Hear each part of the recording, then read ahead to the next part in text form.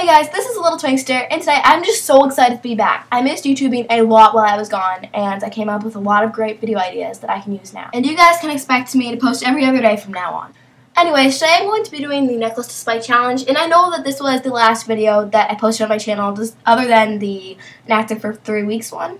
But the reason that I am doing this again so soon is because my good friend Echokittyy accidentally deleted her channel. So if I do get that spike today, I'm going to give that back to her just to make her feel better and hopefully get her some more subscribers back in the process. So when I left off, I had a rare Viking hat, a rare hula skirt, and a rare bow and arrow. So I'm going to try to upgrade those. Let's get started.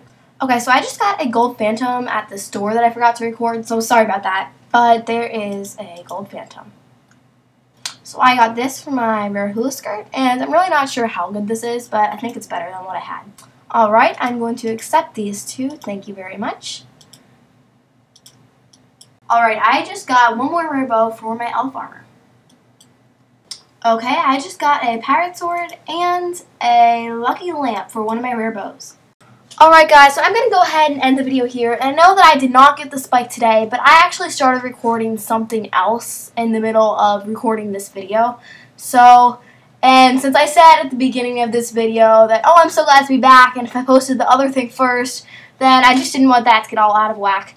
But I, when I do get the spike, I'm going to be giving that to Echokittyy. I'll go ahead and leave her username in the comment section below, or not the comment section, my bad, the description.